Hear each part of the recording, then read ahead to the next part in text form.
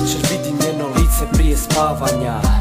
Dugo sam već naviknut na nadanja Pa samo tražim razloge da si produljim vjeru. Iste gubim kad opet krenem pisati pjesmu Koja će pričat o nama.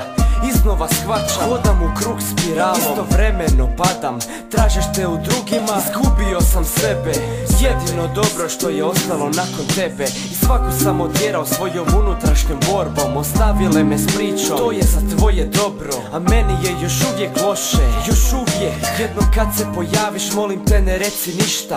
Samo želim vidjet izraz tvoga lica trenutak pa ga kistom naslikat Rasprostrijeti platno na strop svoje sobe. Više neću tražit Boga kada dignem pogled gore. Znaš. Ja više ne starim od kada te nema. Znaš. Zauvijek iz busa poklanjam ti smiješak. Neće bit oprosti, neće biti hvala Već unatrag brojim naše dane s kalendara. Znaš. Ja više ne starim od kada te nema.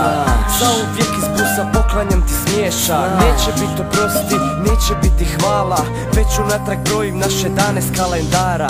Ipak ne boli one koji odluče otići Nego one koji ostaju. Daj malo promisli Glupo je kada se na nekoga navikneš. Sada kad te nema shvatio sam da mi značiš sve.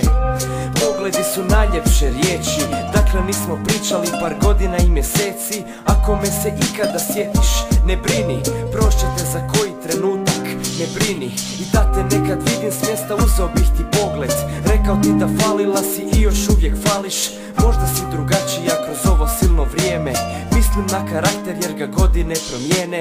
Ne znam bih li morao upoznavat novu osobu Ili nastaviti sa starom, po starom odnosu. I shvaćam nema smisla, bojim ti se priči Ne znam želim li te natrag ili samo da te vidim. Znaš. Ja više ne starim od kada te nema. Znaš. Zauvijek iz busa poklanjam ti smiješak. Neće biti oprosti, neće biti hvala.